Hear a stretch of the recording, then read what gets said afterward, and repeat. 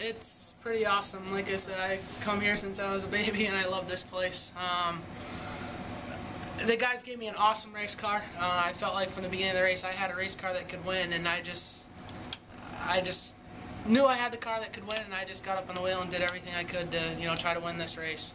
Um, you know, every restart it seemed like we're in the wrong spot, wrong stop. We're always either we're either, we're either second, which put us on the bottom, or third that put us on the bottom, and it kills you here.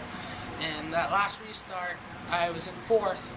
The second last restart, I was in fourth, and I said, I, I got to win this race now or never. And I just got a good restart and uh, made my run on Todd and, and got out front and just said, now that I get the lead, I can restart in the top and be where I need to be and just run my own race. And the car got really tight at the end, which is really strange when we got out front. Other than that, the car was great the whole race until we got out front.